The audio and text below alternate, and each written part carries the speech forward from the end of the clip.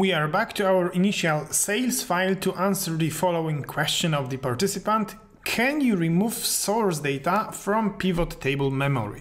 Uh, let's assume this kind of situation. We insert a pivot table, we create some kind of calculation like region and sales, and someone is going to remove the data source, so the source table.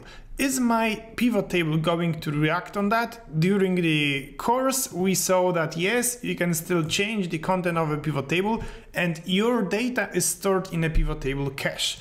But still there is an option to freeze the pivot table by going to pivot table options, data and uncheck save source data with file.